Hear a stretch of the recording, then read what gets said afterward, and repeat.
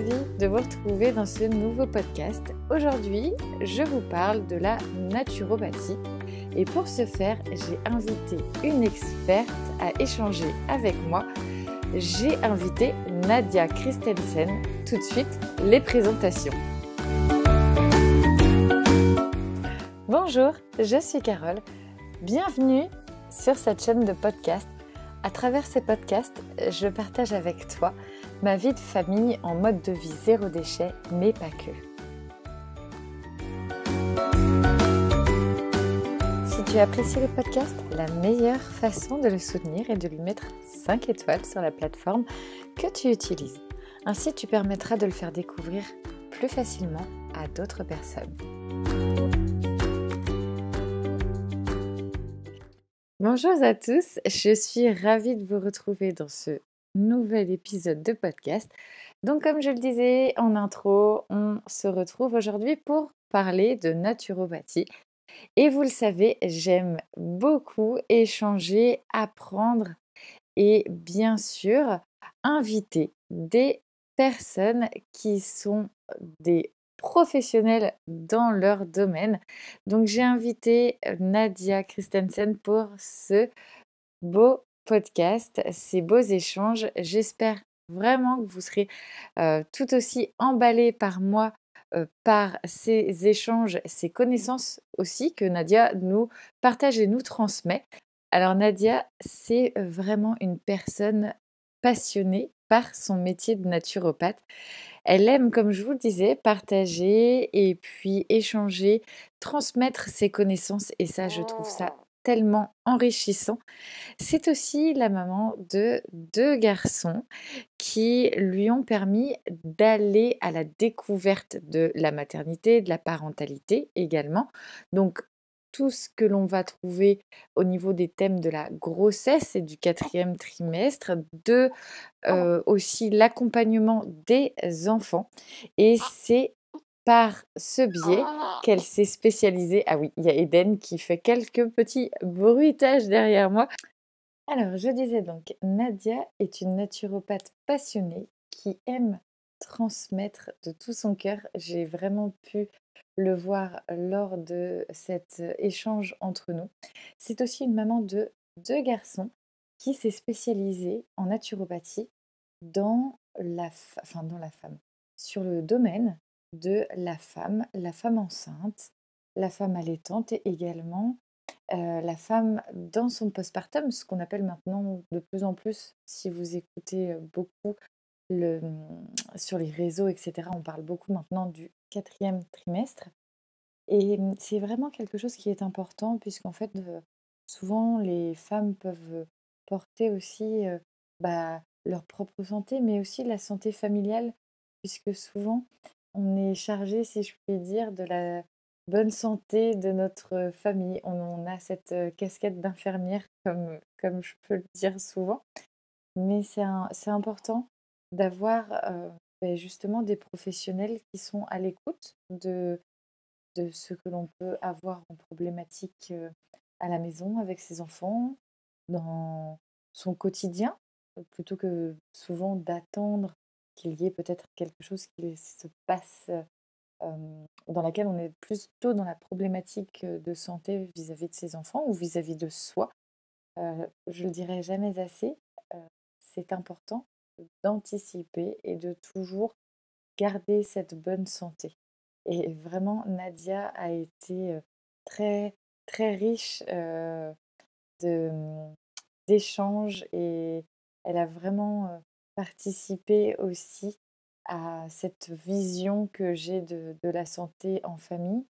Après avoir lu son livre, j'ai vraiment pris conscience qu'il ne fallait pas attendre en fait d'avoir des symptômes, qu'il fallait vraiment être dans la protection, si je puis dire, d'être dans l'anticipation et de comprendre aussi comment tout cela fonctionnait. Avec Nadia, nous vous avons préparé une très belle surprise. Rendez-vous à la fin de l'épisode pour pouvoir participer. Belle écoute. Bonjour Nadia, je suis ravie de te retrouver aujourd'hui sur euh, ce podcast. Je vais dans un premier temps, euh, pour nos auditeurs et auditrices, euh, nous te demander voilà, de nous parler de la personne que tu es et également de comment tu es arrivée à prendre ce métier qui te tient à cœur de naturopathe. Bonjour Carole, bonjour à toutes et à tous. Euh, je suis ravie d'être là aujourd'hui et de pouvoir partager justement mon expérience et, ce qui m'a amené à exercer ce beau métier. Alors je suis donc euh, bah, d'abord naturopathe puisque c'est pour ça que voilà, on s'est contacté et qu'on fait ce podcast pour parler de ce métier, mais je suis aussi maman de deux enfants de 7 et 10 ans et je suis euh, bah, à la fois bah, ravie d'exercer mon métier mais aussi passionnée en fait.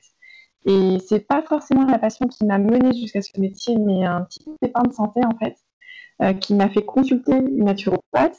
Et c'est euh, après avoir été suivie par elle pendant bah, pas mal de temps finalement, que j'ai songé à une reconversion professionnelle. Parce que c'était une reconversion, j'étais dans les RH d'un grand groupe du CAC 40. Euh, et j'étais donc pas du tout dans ce milieu-là, j'étais dans un milieu très traditionnel, on va dire conventionnel, avec une approche de la médecine assez classique.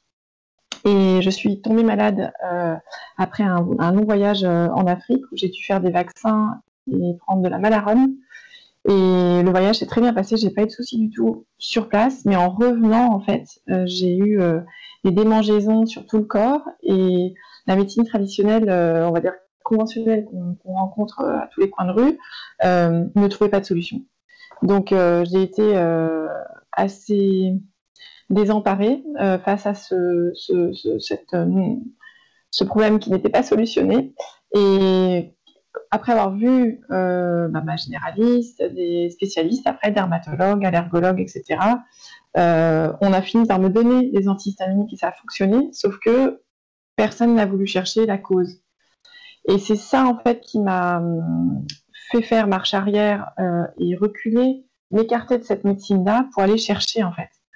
Et donc j'ai consulté après euh, une naturopathe et, c'est donc elle qui m'a sorti l'affaire en me faisant faire des analyses particulières, en m'accompagnant euh, donc sur de, longs mois en fait euh, de, changement alimentaire, de reconstruction de la flore intestinale, d'une refonte de l'hygiène de vie totale en fait que j'en suis sortie et, et c'est là que je me suis rendu compte que oui il y avait effectivement des solutions pour ne pas être dépendant de quelque chose à vie et puis surtout pour refaire travailler son corps. À l'époque, j'avais 29 euh, ans, donc euh, voilà, j'avais pas du tout envie euh, de me condamner à ça. Et je, j'avais dit à, mon, je me souviens très bien, à mon allergologue, c'est très bien votre produit, parce que voilà, je suis capable de retourner travailler et ça fonctionne, mais quand je serai enceinte, je ferai comment? Et voilà, n'ayant pas vraiment de solution à ça, c'était soit je, continue à souffrir, soit je continue à prendre le médicament et mon bébé allait en profiter aussi. Et pour moi, ça, c'était inenvisageable. Donc, D'accord. Oui, le, côté où en fait on met le pansement sur le, sur le bobo, mais euh, ça va pas euh, plus loin. Je pense qu'on est beaucoup dans, dans cette. Euh, dans, enfin, je pense que à tous, hommes, femmes, enfants, enfin tout être humain, ça nous arrive à tous d'être confrontés à ce, ce dilemme de, de prendre un médicament pour soulager, mais en fait de ne pas aller chercher en profondeur le problème. Alors, euh, comme tu le dis très bien, c'est long. C'est une démarche qui est, euh, qui est vraiment sur le fond, en fait, mais ça permet euh, ensuite de, de pouvoir bah, se passer d'éventuels médicaments à vie. Et ça, c'est quand même quelque chose qui est, qui est non négligeable parce qu'il y a quand même l'organisme. Là, bah, par exemple, pour la femme, euh, la femme qui souhaite euh, euh, devenir maman, ben, il y a une importance qui fait que le bébé peut recevoir aussi ses médicaments. Donc c'est vrai que c'est une approche qui est, qui est vraiment plus en traitement de fond. Mais est-ce que toi, dans ton, par exemple, dans ton parcours, tu l'as fait en complément ou en fait, il y a un moment où tu t'es dit, euh, j'arrête tout du conventionnel et je, je, je, vais chercher plus loin Alors, euh, oui, oui, bonne question. En fait, quand j'ai décidé d'être suivie par cette naturopathe, j'ai fait uniquement ce qu'elle m'a demandé de faire pour qu'il n'y ait pas d'interférence. Et c'était pas non plus, c'était handicapant parce que j'avais des brûlures sur le corps et ça me démangeait. Mais c'était pas, je pouvais me passer quand même de cet antihistaminique. Voilà, j'avais pas d'envie c'était. Euh, oui, c'était pas euh, dangereux pour, euh, pour ton organisme d'arrêter ce médicament. C'était plutôt dans la contrainte de, de, la, de la gestion de la douleur, de, du quotidien. Du confort. D'accord. Du, vrai confort, mais du confort. Et, effectivement, j'en ai tellement souffert quand même que j'étais prête en fait à faire ces sacrifices-là. Et des fois, on arrive à être dans la pure prévention. Donc ça, c'est le but ultime de la naturopathie. Les gens qui viennent consulter, j'en ai. Hein. Euh, ils sont en bonne santé, ils vont bien, mais ils veulent aller continuer à aller bien et puis aller encore mieux. Ça, c'est le but, euh, voilà, de, la naturopathie en tant que telle. Et malheureusement, on a souvent des gens qui viennent euh, déjà malades, déjà avec des bobos, des choses qui sont installées, plus ou moins chroniques, et on doit bah, remonter le fil et, et travailler sur du long terme. Oui, ce qui fait que forcément c'est beaucoup plus important. c'est beaucoup plus important au niveau euh, bah, du travail à fournir, que ce soit bah, pour vous naturopathe ou aussi du côté euh, de la personne qui euh, qui est impactée par par une maladie ou autre. Mais c'est vrai que les médecines douces, on a Enfin, je pense que j'ai été dans ce cas-là aussi lorsque j'ai découvert euh, euh, ces, médecines douces qui sont en fait là depuis euh, ben, des, millénaires. Enfin, c'est quelque chose qui, qui est là depuis toujours et que, que l'on a oublié pour beaucoup. Et hum, souvent, on, on, y pense en cas de dernier recours. Et comme tu dis, c'est ça qui est un, un peu dommage parce que c'est forcément plus compliqué et mm. que d'être avec une personne, je dirais, euh, qui a envie pour, euh, pour l'avenir d'être euh, bah, sur un, bon équilibre d'énergie et puis et puis du corps en fait et puis en fonction là, par exemple, on parlait de, la femme et de l'enfant. Bon, bah, par exemple, on sait que la femme, on est déjà cyclique, donc euh, on n'a pas forcément toujours besoin des mêmes choses. Et puis, bah, les enfants, sur leur, euh, ne serait-ce que sur la croissance, qui est quand même très, très, euh, euh, très différente, avec des phases d'apprentissage qui vont être euh, juste extraordinaires. Là, je lisais un livre, il y a, bah, je suis encore dans sa lecture, et c'est vrai que quand on voit la capacité du cerveau d'un enfant par rapport à un adulte, on comprend très rapidement que forcément les besoins énergétiques sont forcément pas les mêmes. Mhm. Donc euh, euh, c'est quelque chose qui qui est important parce que je pense que ça peut amener aussi beaucoup de connaissances qui sont méconnues. Et elle demande à se faire connaître parce que je pense qu'en tant que, que parent, femme, euh, homme avec un grand H, on, peut vraiment euh, trouver aussi un confort de vie avec, euh, avec ces, méthodes.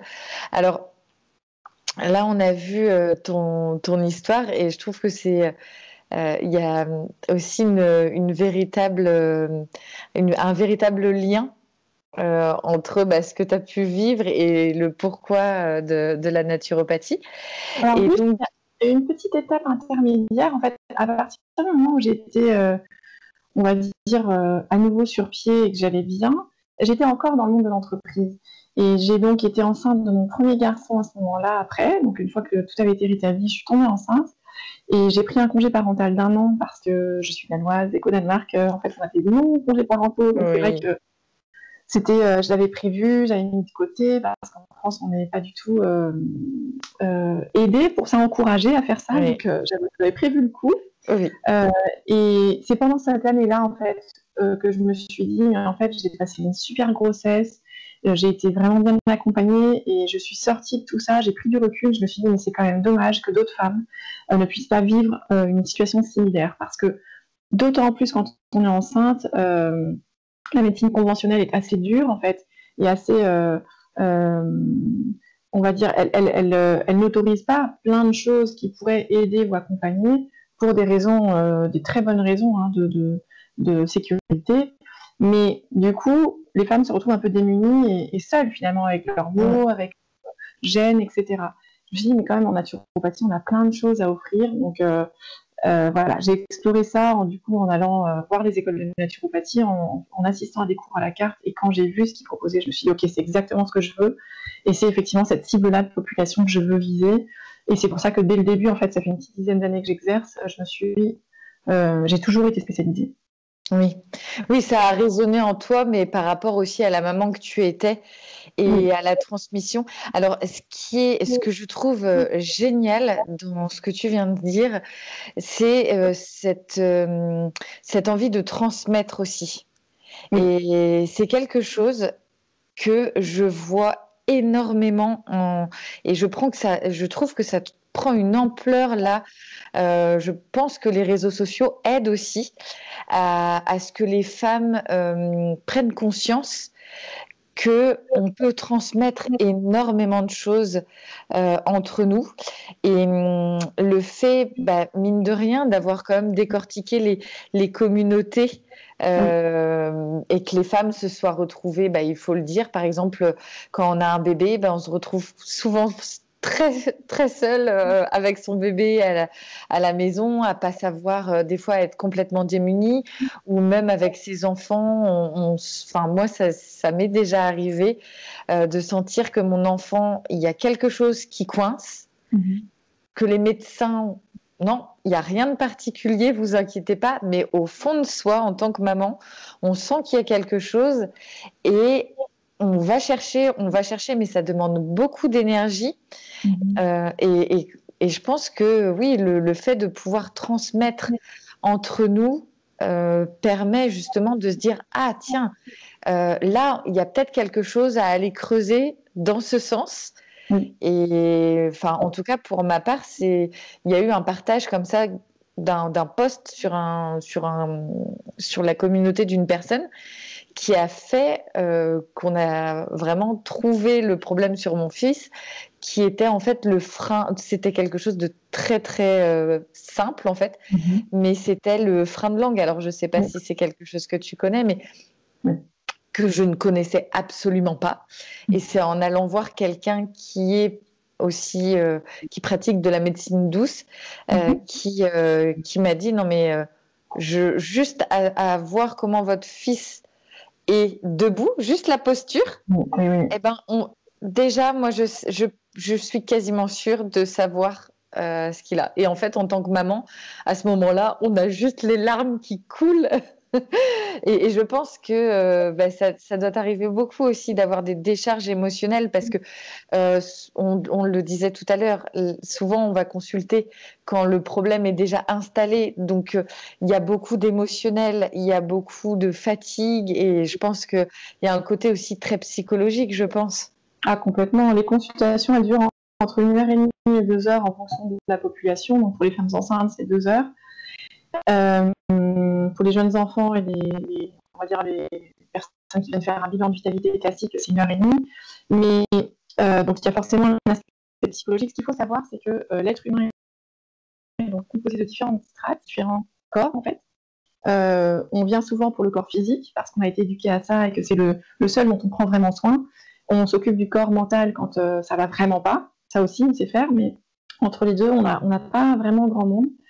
Et ce qui est spécifique à nos approches en médecine non conventionnelle, comme on les appelle officiellement, c'est euh, d'avoir une approche globale, holistique. C'est-à-dire qu'on tient compte de justement tous ces corps.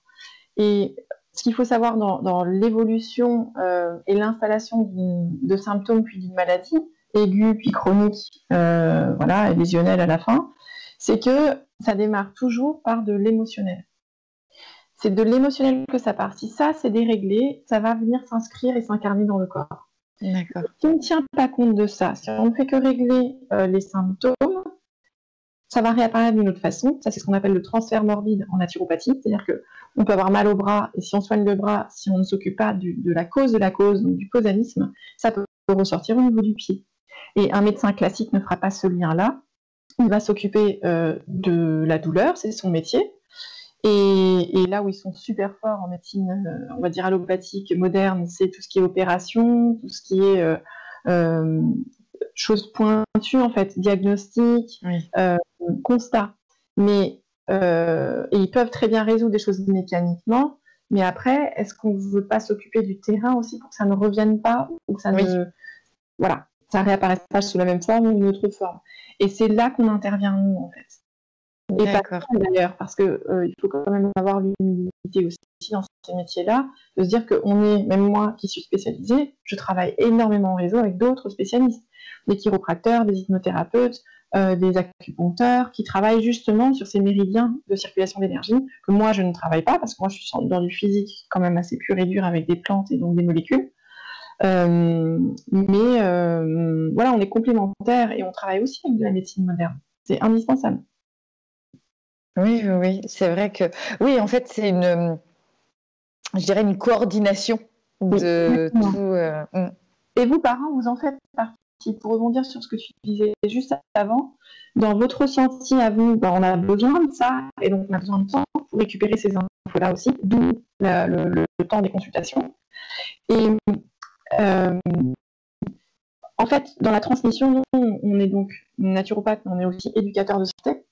Et c'est notre deuxième titre en fait. Et éducateur, c'est-à-dire qu'on transmet ce qu'on vous a appris à l'école, et puis après l'expérience euh, du terrain, au cabinet. Mais pas que. Euh, bon, après, on lit énormément aussi parce qu'on est dans un métier scientifique où ça évolue euh, sans cesse, donc il y a beaucoup de lectures mises à jour. Mais pas que. on vous rend aussi votre capacité à vous, parents, d'être partie prenante de ce qui se passe. Et moi, ce que j'aime dire aussi aux enfants qui viennent, aux parents pour qu'ils le transmettent aux enfants, c'est que euh, on ne les dépossède absolument pas de leur propre capacité à juger s'ils ont faim, s'ils sont mal, s'ils ont besoin de ci ou ils ont besoin de ça. À partir d'un certain âge, ils s'expriment très bien là-dessus. Et, les rendre acteurs et, actifs du coup de ce qui se passe, euh, ça les fait grandir aussi, et pas que physiquement justement. Et beaucoup de parents, dans ce que je constate, font déjà. Donc en fait, quand on, transmet, des fois on ne fait que rassurer et réconcilier euh, pas réconforter, mais euh, dire aux parents, parce que vous faites déjà, c'est exactement ce qu'il faut faire en fait. Donc continuez, votre feeling était bon, l'éducation de vos parents et de vos grands-parents, elle était bonne. Donc euh, du coup, on peut construire là-dessus. Oui. À partir de la confiance, on, se dit bon ben on est capable de, que ce soit le petit qui se dit bah tiens mon corps il est capable de sortir de ça sans grand chose, donc c'est à dire qu'il l'a fait tout seul, ou les parents qui disent bah tiens j'ai respecté le rythme de mon enfant et il a réussi, on a réussi ensemble à, le de ça. Et, voilà, euh, sans, peur et, euh, en constatant qu'on a fait ce qu'il fallait ou on n'a pas fait ce qu'il fallait pas aussi. Des fois, on entrave les processus naturels. Donc voilà, ça fait que, en fait, les épisodes d'après se passeront beaucoup mieux. Des fois, ne se verront quasiment pas. Et du coup, on sort en fait de cette spirale infernale et négative du on va guetter le moindre symptôme, on va essayer d'étouffer le moindre symptôme, et voilà, on, est vraiment, euh, on forme une équipe entre l'enfant, le corps de l'enfant, les parents, la confiance, euh, le thérapeute qui va du coup pouvoir proposer des petites choses à voir à la maison, on en parlera peut-être après. Mais euh, voilà, ça renforce. D'accord, oui, ça fait vraiment une, une, équipe pour, pour aller de l'avant et puis pour que tout, que tout aille bien. Après, je pense que, ben voilà, enfin, en tant que maman aussi de trois ans, en bas âge, je me rends compte que euh, il y a des choses. On, a beau euh, des fois ne, euh, bah, voilà, on n'aime pas voir nos enfants malades ni rien, mais il y a quand même des choses qui, enfin, ils ont besoin. Enfin, moi, je vois par exemple Arthur qui est ah. émotionnellement. moi, j'appelle, je, c'est aussi bien notre notre koala que que notre dragon. Enfin, c'est voilà. et, et, c'est vrai que ça peut être très déstabilisant, mais en même temps, ben ça me. Alors ça me. C'est très déstabilisant, mais en même temps, ça fait aussi énormément grandir. Je pense que face à, face à certaines situations, en fait, quand tout va bien, euh, il y, a toujours, il y aura, enfin, un organisme vivant, il aura toujours, euh, tout à l'heure on parlait d'énergie, d'équilibre, il y aura toujours besoin, en fait, on est sans arrêt euh, en train de nous adapter à notre environnement, au climat. alors, en plus, si on parle de l'environnement, du côté écologique, etc., ben forcément, là, on, est sur une problématique qui va euh, évoluer et il va falloir forcément qu'on recrée euh, une, euh, on va dire une, enfin pas une balance, mais une, qu'on puisse trouver notre équilibre aussi dans un environnement changeant et que qu'on soit adulte ou enfant. Mais je pense que les enfants sont de très bons, enfin ils s'adaptent beaucoup plus finalement. Ah bah plus, plus vite et en se posant moins de questions, oui. C'est ça, c'est le côté de l'instant présent qui les... qui les drive, comme on dit. Euh, donc euh, là, par rapport euh, à la naturopathie, justement, on, en vient à parler de l'aspect aussi familial. quel, quel conseil et quel alors c'est pas quelle, enfin si ce sont des plantes, mais il y a peut-être une, trousse à pharmacie familiale qui est qui est pour toi euh, euh, indispensable, que ce soit pour ben, pour tous les membres de la famille. Alors je pense notamment à un produit, enfin moi que j'ai depuis que les enfants sont petits, c'est l'arnica. en naturopathie, je pense que celui-là. Euh, est-ce que la naturopathie, d'ailleurs, je pense à une question. Est-ce que la naturopathie se rapproche aussi de l'homéopathie? C'est complémentaire ou c'est complètement différent? Ah, C'est une très bonne question. En fait, euh, d'après l'OMS, donc euh, l'Organisation mondiale de la santé, vous avez trois types de médecine. Vous avez les médecines traditionnelles donc euh, l'acupuncture euh, en médecine traditionnelle chinoise, euh, la médecine traditionnelle chinoise de manière générale, hein, avec toute sa pharmacopée, l'ayurveda en Inde, les médecines traditionnelles orales en Afrique, en Amérique latine, et la naturopathie occidentale. Et en fait, c'est donc c'est ce que tu disais, hein, c'était des médecines millénaires qui étaient là bien avant l'arrivée des antibiotiques mais qui, ont été un peu délaissés euh, dans certains pays euh, au profit justement d'une pharmacopée euh, moderne et antisymptomatique. Euh, le deuxième type de médecine, c'est euh, la médecine homéopathique, donc qui va venir, euh, on va dire que les médecines modernes, allopathiques, dont je parlais juste avant, elles viennent donc éteindre les symptômes, les médecines homéopathiques euh, unicistes, parce qu'il y a des, homéopathes en France qui sont dans l'antisymptomatique aussi, mais les unicistes, donc on va dire l'homéopathie de base, euh, vient renforcer le terrain, va trouver le terrain de la personne et lui permettre à chaque fois qu'elle est malade de remonter à son niveau euh, de fonctionnement idéal euh, grâce à un remède qui fonctionnera à chaque fois en fait. Et ce qu'on donne en homéopathie, c'est des, des choses qui sont toxiques, mais dans des quantités infinitésimales. Oui. donc, on fait réagir un peu à l'instar des vaccins, en fait. On va donner quelque chose pour faire réagir, et ben l'homéopathie fait la même chose. Et moderne, donc euh, ce qu'on disait au tout début de l'interview, avec les opérations, euh, le médecin qu'on va voir pour une otite, etc., etc.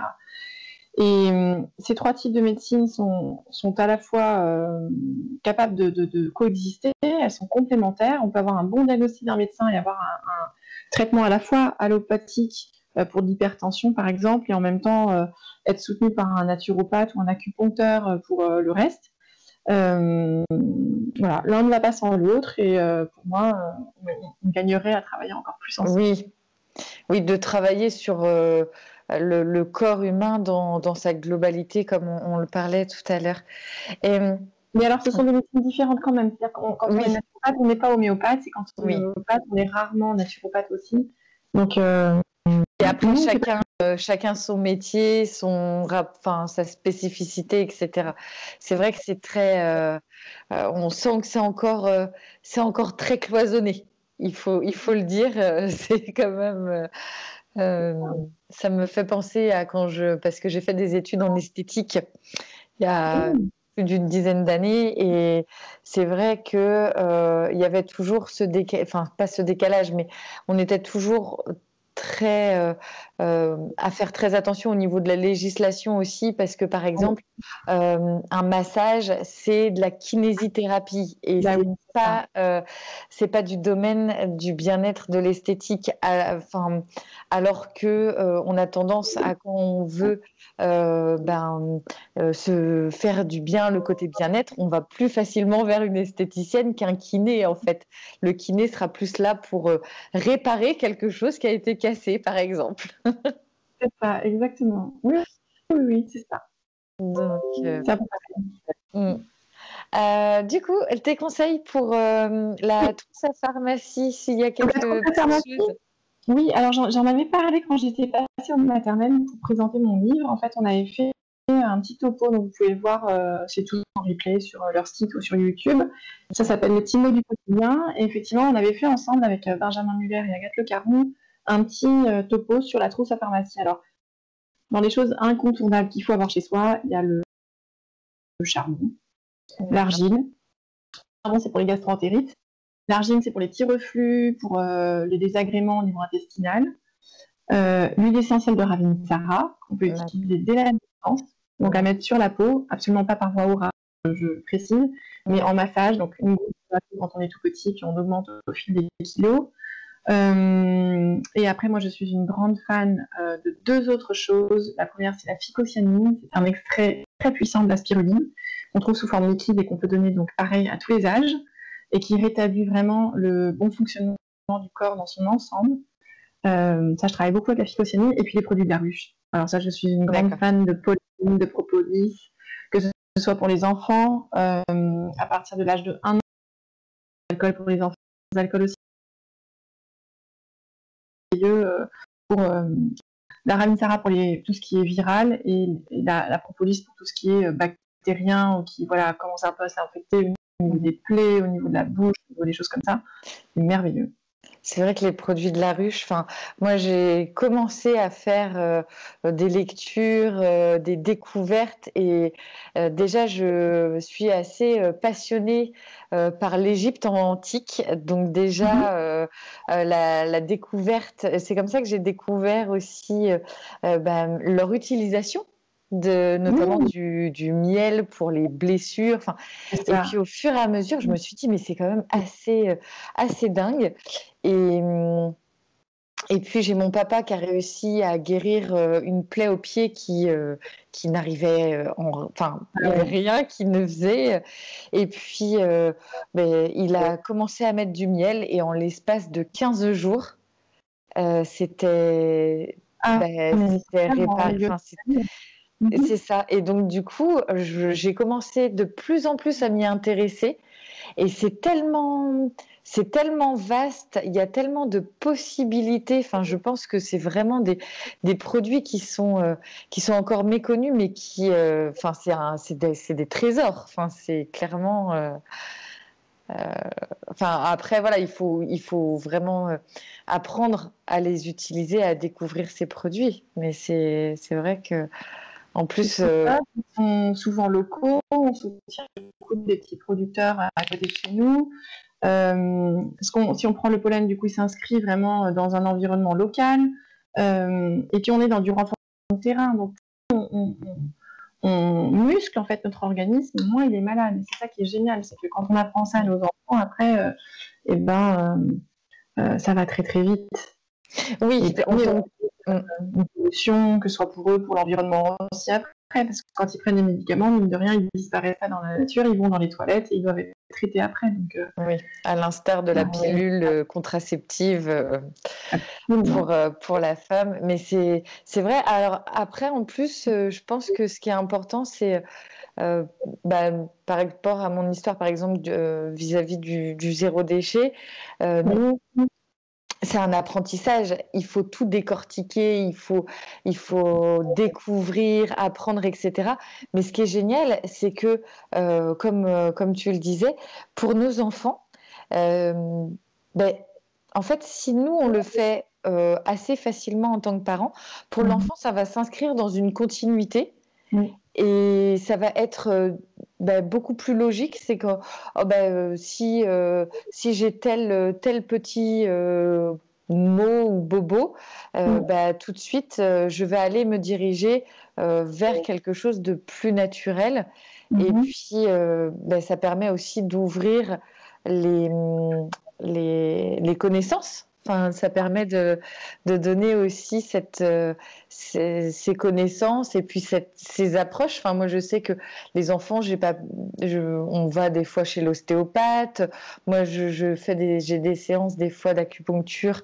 Euh, pour, euh, pour moi, bah là encore plus enceinte, mais je trouve que c'est important de leur montrer et de leur faire connaître en fait toutes ces solutions. Donc, je suis d'accord avec toi. Mm. Ça fait partie de l'éducation. Oui, voilà, bah, de la transmission. On revient souvent à tout ce qui est euh, transmettre, euh, éduquer. Et du coup, est-ce que euh, la naturopathie, enfin ça j'en suis convaincue, mais la, naturopathie pour euh, les enfants dans le quotidien, mhm. euh, tout à l'heure on parlait de, de, fond, alors je suppose que quand on fait une séance avec un enfant, il y a, comment dire, des enfin, pas, alors j'aime pas parler de type de personne, mais je pense qu'il y a, il doit y avoir des profils sûrement. Enfin, je sais pas après comment travailler. Voilà. Mm. Par rapport au tempérament, et puis en fait, vous travaillez en, fonction de l'enfant. C'est ça. Euh, d'accord. On récupère alors souvent les consultations comme elles sont, on les fait qu'avec les parents euh, qui viennent avec le carnet de santé de l'enfant. Euh, ça peut se faire par téléconsultation aussi, hein, c'est ce qu'on fait en ce moment et ça marche très bien. Euh, on pose des questions lors de l'anamnèse, donc c'est le, questionnaire en fait qu'on déroule avec les personnes pour savoir un petit peu de qui il s'agit effectivement et comment fonctionne la personne, que ce soit un enfant ou l'adulte, pour l'accompagner au mieux, euh, au plus, près de, sa façon de fonctionner. Parce que si on demande à quelqu'un de faire le strict inverse de ce qu'il a l'habitude ou de ce qu'il aime faire, ça ne fonctionnera pas. Et l'idée, c'est de rendre la personne autonome le plus vite possible, donc qu'elle puisse intégrer nouveaux réflexes et, continuer à construire sur ce qui a déjà été fait pour euh, s'améliorer euh, et, que ça se fasse euh, le plus, de façon la plus fluide possible. Donc oui, on tient compte de ça, on, redonne les informations aux parents et puis bah, eux après aussi apprennent à, respecter en fait ce fonctionnement parce qu'ils n'en ont pas toujours conscience. Surtout quand ils ont plusieurs enfants, on a tendance à croire qu'un enfant fonctionne d'une certaine façon, avec des petites différences. Mais en fait, des fois, ils sont radicalement différents. Et c'est pas simple. Euh, mais, mais finalement, ça l'est quand même parce que quand on, arrive à lâcher prise sur certaines choses, et eh ben, on perd moins d'énergie qu'à en investir à essayer de changer. Donc, euh, sur du moyen terme, en fait, c'est un petit switch à faire au début, euh, d'arriver à juste être dans l'observation et l'accompagnement et à lâcher sur ce qu'on aimerait faire nous en tant que parents mais euh, quand on arrive à lâcher, après, on se rend compte que finalement, les enfants, ils se portent beaucoup mieux. On parle euh, aussi beaucoup de, charge mentale pour la femme. Euh, mhm. Et ce côté de lâcher prise, finalement, on est sur un terrain qui est beaucoup plus de l'adulte Mmh. Parce que lui, l'enfant, le fait d'être dans le moment présent, il est euh, complètement. Euh, euh, ben, il, quand par exemple un enfant met ses chaussures et que nous on est derrière, faut se dépêcher, on est en retard, on est en retard. Il n'a pas conscience en fait du, de tout le, de toute la, de toute la trame qu'il y a derrière de l'organisation. Et souvent, ce côté où on est, bah voilà, on est dans nos quotidiens, on est organiser, vouloir bah, aussi aller toujours plus vite, etc. Euh, je pense que le fait de lâcher prise euh, aide au quotidien, mais en plus, comme tu le dis, bah, sur euh, certains comportements, moi, je, enfin, on, le ressent tous aussi en tant que maman. Il y a des journées où on va être un peu plus électrique, et ben, tout de suite, les relations vont être beaucoup plus compliquées, et ce, des fois, sur la journée entière. Alors, il y a, il y a diverses raisons, hein, euh, voilà. Mais il y a des journées où euh, on va pouvoir faire beaucoup plus de choses et pour et bizarrement on a on lâche prise quasiment sur tout. Et puis en fait les enfants vont être super cool. Euh, enfin. je pense des fois à des journées du mercredi où bah, c'est, il y a quand même pas mal de choses à faire. Et ben, quand on lâche prise, les enfants vont être, vont toujours tourner autour de nous mais ben, ça va être beaucoup plus fluide. Et je pense que cette, euh, cette approche aussi euh, nous, nous pousse un petit peu à, c'est ça, à explorer. Et puis, c'est vraiment important. Mais c'est vrai que, euh, comme tu le disais, ça fait, euh, on, sort de, bah, ça fait sortir aussi de sa zone de confort, de ce qu'on de ce qu'on peut connaître. Et forcément, il faut découvrir, il faut s'approprier. Donc, comme tu le disais, l'importance de, de faire équipe. Et ça, c'est hyper important. Alors, euh, j'en viens aussi par rapport aux enfants mhm. à l'alimentation parce que je sais que c'est quelque chose en tant que parent euh, mine de rien qui euh, qui est très important pour pour que ce soit la, dans la vie de la famille ou aussi en tant qu'individu bah, on a aussi notre propre rapport à l'alimentation. Et avec une, particularité dans ma question, c'est euh, par exemple pour les euh, enfants qui vont à la cantine le, le midi, qui, bon, il y a quand même une grande partie des enfants qui vont à la cantine. Euh, est-ce qu'il y a des équilibres que l'on peut faire facilement le soir? Voilà. Alors, première chose par rapport à la cantine, ce ne sont que 4 ou 5 repas dans la semaine, donc il faut quand même relativiser là-dessus. Souvent, les enfants ne mangent pas ou peu, enfin pas, mais ils mangent très peu par rapport à la maison. Donc, c'est pas très grave. Et en même temps, ça ne veut pas dire qu'il faut complètement lâcher dessus. Je pense qu'il faut être très présent en tant que parent pour pousser euh, les cantines et les collectivités à aller vers des choses de qualité, parce qu'on peut aussi inverser la tendance et, euh, du coup avoir moins de aussi. Moi, ce qui me, ce qui me rend dingue, c'est de voir tout ce qui est jeté en fait, parce que c'est pas bon. Ah, c'est euh, juste fou. Ouais, ça c'est, je pense qu'il gagne aurait vraiment à avoir des choses meilleures, même s'ils en donnaient moins au niveau des quantités, euh, pour que voilà, ce soit un, quelque chose de, vertueux et que, et que voilà, travailler avec des gens plus localement, il y a quand même des cantines qui le font et il y a des, vrais efforts à faire parce qu'il y a des communes qui font franchement oui, il y, a des très, très, il y a des très très bons modèles qui ne demande qu'une chose, c'est de partager ce qui a été mis en place.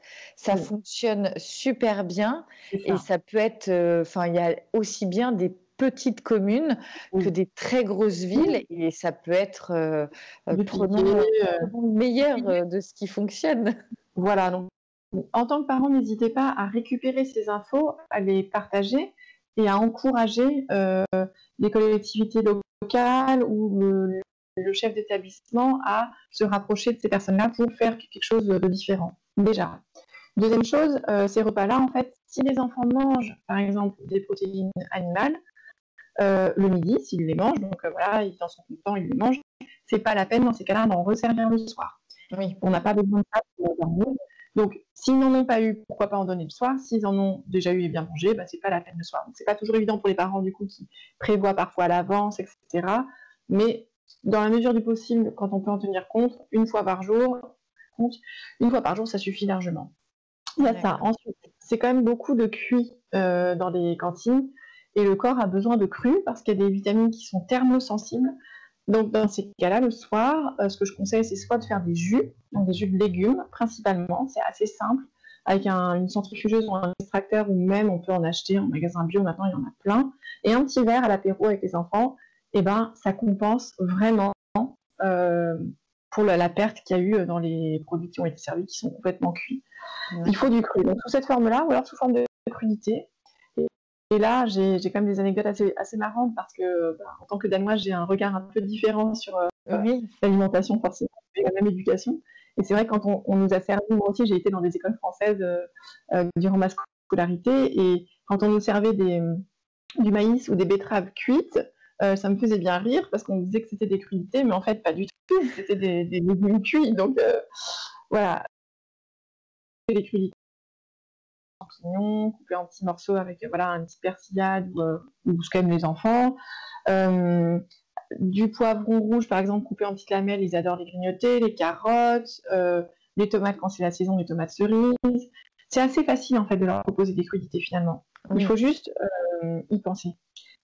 Donc voilà, la petite astuce, c'est de se dire, bah tiens, il faut une crudité, euh, un peu de choura ou un peu de quelque chose euh, à grignoter. En plus, ça sert souvent aux parents euh, pour faire patienter les enfants. En fait, au lieu de leur donner un morceau de pain, leur donner des crudités. Et là, vous avez tout bon. Donc, du cru, du cru, du cru. oui. Oui, tu voulais dire Oui, je disais. Euh, du coup, euh, moi, je sais que euh, bah, j'ai été petite. voilà, dès que quand arrivait l'heure du repas, on donnait facilement le crouton de pain, etc. Et je c'est culturel je pense. Et là, je vois avec les enfants, euh, bon, après, c'est mon quotidien qui fait que je peux le faire. Donc, j'en suis consciente. Quand je travaillais euh, euh, en commerce, par exemple, et que je finissais à 7h30, 8h, le temps de rentrer à la maison, enfin, voilà, tout, tout le monde n'a pas la même, les mêmes possibilités d'organisation. Mais je vois à la maison maintenant, je préfère faire un goûter euh, juste avec un fruit et puis euh, des, des, amandes, des choses comme ça. Et puis par contre, euh, je vois très bien le soir à 18h30 euh, la faim pour les enfants est là. Donc après, ça, ça dépend de chaque, euh, de chaque enfant, mais là pour le moment, en tout cas, moi pour Malo, euh, Arthur et Juliette, c'est vraiment 18h30 dernier carat parce que sinon ils viennent dans la cuisine et puis en fait ils mangeraient tout ce qui, tout ce qu'ils peuvent. Et si vraiment je suis complètement dans le rush, j'essaye toujours d'avoir soit des pommes ou des carottes. Oui les carottes, alors euh, souvent en plus je leur dis bah tu l'épluches vite fait ou si euh, ah.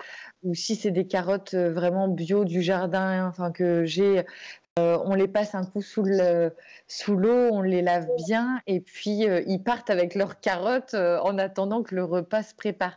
Et, et je pense que clairement, bah, en plus il y a un côté où on parlait du lâcher prise, et ben on va vraiment pouvoir lâcher prise parce que on sait que son enfant, bah, c'est pas une pomme ou une carotte euh, qui va faire que euh, justement, au contraire, ça va lui donner un bon apport euh, de bonnes vitamines.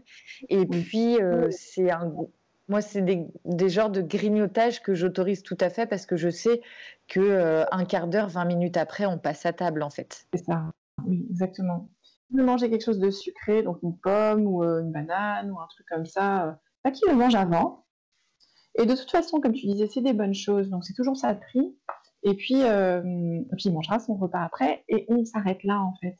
S'il veut manger des vraies choses sucrées, un gâteau ou une mousse au chocolat ou quelque chose, c'est à 4 heures. C'est le goûter. Ok. Ouais, c'est le goûter, ok. Mais voilà, ça c'est des petites astuces pour répartir un peu. Si l'enfant est à l'école, qu'il est au péri, bah, qu'il emporte des choses sucrées pour ce moment-là. Et le soir, par contre, quand le repas est fini, s'il a encore faim, c'est encore du repas. Et s'il a plus faim, c'est fini. Oui. Ça aide. C'est vrai que et même, euh, moi je me rends compte euh, avec le côté euh, zéro déchet, bah, on a découvert aussi, bah, tu parlais tout à l'heure du sucre complet, du sucre coco, c'est des aliments que je connaissais pas du tout en fait avant. Euh, c'est vrai que le côté vrac, bah nous en fait dans notre démarche, on a commencé plutôt par le zéro déchet pour des mhm. raisons économiques, mais qui nous ont fait cheminer vers de l'alimentation en fait. Et, c'est vrai qu'on se rend compte, euh, nous maintenant, depuis euh, plusieurs années, en fait, on n'est plus du tout dessert et, et ça nous manque plus du tout. En fait, une fois qu'il est enlevé de l'alimentation et du rituel de, du repas, ça ne, ça ne manque absolument pas. Donc, euh, euh, c'est là où on se dit, bah, en fait, c'est, pas forcément nécessaire. C'est du, c'est du plus à la limite quand on est en repas en famille ou autre, mais c'est euh, au quotidien. il n'y a pas l'utilité nutritionnelle, quoi. alors là, je vais te demander trois conseils que mhm. tu donnerais à ta meilleure amie par rapport justement à ton métier de naturopathe? Trois conseils pour les, pardon, j'ai mal entendu. Euh, alors, trois, trois conseils que tu donnerais à, ta meilleure amie par rapport à ton ah expérience, euh, de, que ce soit aussi euh, personnel et professionnel, parce que c'est un cheminement qui, est, qui, est, bah, qui fait ta personne. Donc, mhm. quel, quel conseil donnerais-tu? Alors le premier, c'est de prendre soin de son sommeil. C'est-à-dire que toutes les années qui m'ont euh, euh, apporté mon expérience professionnelle euh, m'ont fait retomber à chaque fois sur la même chose, c'est que on a beau donner tous les compléments alimentaires, même les meilleurs du monde, on a beau changer l'alimentation, remettre du mouvement avec le sport, faire transpirer en allant au sauna, etc., si on ne soigne pas le sommeil, franchement, ça fonctionnera qu'à moitié. Donc, première chose, la première priorité pour moi, c'est ça. La deuxième, euh, c'est d'avoir des moments off. Donc, entre le sommeil et l'état actif, il faut aussi des moments de on rêvasse. On est, euh, on s'achète un hamac, on se met dans un, bon fauteuil ou un bon canapé et on ne fait pas grand chose en fait. On n'est pas sur son téléphone. On est, on est pas forcément même en train de lire. On est juste, euh, juste là et juste en train de profiter de l'instant présent. Ça peut être regarder une bougie, ça peut être méditer, ça peut être euh, se faire de l'auto-hypnose, mais sans aller dans des pratiques aussi euh, compliquées pour certaines au début. juste être en fait et constater que ça va, que tout va bien et que voilà, on prend du plaisir à être là. Ça c'est la deuxième chose pour qu'il y ait aussi ces moments de répit en fait dans la journée parce que le corps il a besoin de cette alternance activité repos. Euh, et puis la troisième, peut-être, c'est d'être plus connecté à la nature. Donc ça, on peut le faire tout quand on est en appartement. C'est-à-dire se forcer à sortir tous les jours. Mhm. Alors, moi, je pas de prédilection. Ça peut être avant, après manger. Ça peut être euh, en, le midi pour celles qui travaillent euh, en entreprise et qui ont besoin juste de faire un tour de pâté de maison. Mais regarder la lumière, observer où on est la lune. est-ce qu'on la voit, est-ce qu'on la voit pas? Ça peut être s'attacher à la météo pour celles qui s'y intéressent ça peut être euh, euh, voilà, juste euh, se concentrer sur les sensations de, l'air, du vent, de la température sur soi, mais être connecté à ça parce qu'on se déshumanise quelque part quand on reste entre nos quatre murs. on se coupe de, tout ce dont on a réellement besoin. On a besoin de la lumière du soleil en fait pour bloquer la sécrétion de mélatonine qui est l'hormone du sommeil. Si on est dans des endroits qui sont hyper éclairés la journée, par exemple des centres commerciaux, euh, et qu'on n'a jamais la vraie lumière du jour, on va être euh, déphasé parce que la lumière va être la même, elle va être constante toute la journée. Oui. Et de la même façon, si on travaille euh, de nuit, en fait, on va dérégler l'organisme. Alors, je dis pas qu'il faut pas le faire, mais il faut savoir que ça a des conséquences en fait et qu'il faut rééquilibrer autrement. Donc, tout le monde peut à son échelle et avec sa façon de vivre, quand même mettre plus de nature dans sa vie.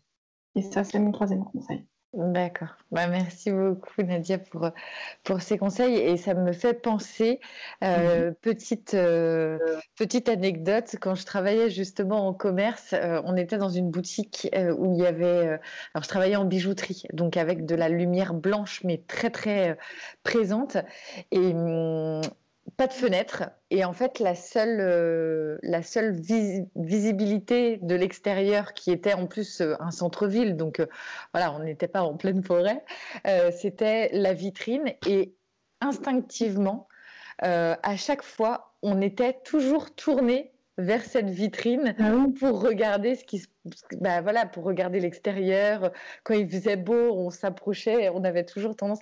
Et je pense qu'il y a quelque chose comme ça qui est en fait notre euh, euh, notre mental bah, par nos obligations etc on va s'enfermer on va voilà. Mais en fait euh, là par exemple le premier confinement donc nous on a vraiment de la chance parce qu'on est entouré de nature on est à la campagne avec mon mari et mes enfants.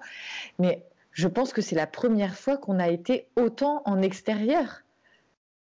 Parce qu'on avait encore plus ce besoin de bah, déjà de liberté et puis euh, bah, de le fait de cohabiter vraiment euh, euh, tous les cinq on s'est dit il faut absolument que, que l'on sorte que l'on prenne l'air etc c'est juste, c'est juste fou en fait. C'est ça. On a et, on a un jardin et je me dis euh, et là j'essaye vraiment, même s'il pleut, même si et je pense que euh, culturellement tu dois être d'accord aussi de par euh, bah, le, le, fait d'être d'être originaire de pays un peu plus au nord.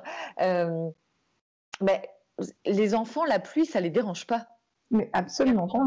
Enfin, c'est même plutôt drôle, quoi. C'est euh, c'est amusant. Enfin, et donc, il y a on en revient au côté lâcher prise de euh, moi je sais que les enfants bah, en fonction du temps c'est pas grave on met euh, les bottes euh, les enfin je, je, je leur donne les habits qu'il faut. Et puis j'ai l'avantage donc d'avoir ce jardin. Et ben ils vont au jardin. Et s'ils reviennent bon la plupart du temps oui il faut lâcher prise. Faut vraiment lâcher prise. Et ben c'est pas grave. Tout le monde passe à la douche. Et puis et puis ben en plus le temps où ils sont dehors et ben moi ça me permet aussi de, de respirer et puis, euh, et puis de prendre l'air aussi, quoi. Donc, je pense que c'est très important. Alors, on va passer au portrait chinois que j'aime beaucoup faire avec, avec les personnes que j'accueille sur le podcast. Alors, on va commencer par si tu étais un animal, tu serais? Oh, très bonne question. Euh, qu'est-ce que je serais comme animal? Euh, Peut-être. Ah, je n'ai jamais vraiment posé la question. Alors, j'ai dû me la poser quand j'étais petite, mais c'est vrai qu'adulte. Alors souvent c'est euh, là au moment présent parce que on est des êtres, voilà, on parlait d'énergie, etc. Donc peut-être que dans une semaine ce sera complètement autre chose, mais là, là aujourd'hui. Peut-être un chat, oui. si tu étais une plante Alors, une très belle plante euh, que j'adore, je pense que je serais une, une passiflore pour ces fleurs. j'adore la fleur de Elles sont une très belle fleur. Si tu étais un élément? Euh, L'élémentaire, clairement. D'accord. Euh, j'aime alors euh, j'aime beaucoup poser cette question. Est-ce que par hasard un lien avec euh, le signe astrologique ou pas du tout? Oui, je, je, suis je suis Capricorne, donc oui. Et je me sens vraiment sur Terre en fait. Mm. Oui, connectée. Et, oui. Mm. À mon élément. si tu étais une pierre, une pierre précieuse, pardon, Oh, euh, alors précieuse, je crois que j'aime quand même beaucoup le diamant parce que bah, il est clair et en même temps il a plein de, lumière et plein de couleurs différentes en lui. Euh, et dans les semi-précieuses, euh, là, il y en a vraiment tellement que mm. j'aurais du mal à choisir. Hein. Oui, c'est pour ça que dans ma question, je mets précieuse parce qu'après, il y a tellement de, de belles pierres que. Alors, si tu étais une saison? Ah, ma saison préférée, c'est l'été, L'été, l'été. Mm. Ok. Si tu étais un moment de la journée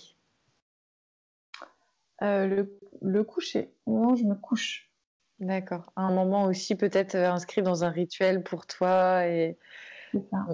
J'aime bien le rythme, j'aime bien le fait d'avoir euh, toute la nuit devant moi, d'avoir ce temps. Ça, ça ralentit vraiment. J'aime bien ça, cette sensation-là de ralentissement et c'est vrai que c'est agréable, surtout quand on est maman en fait.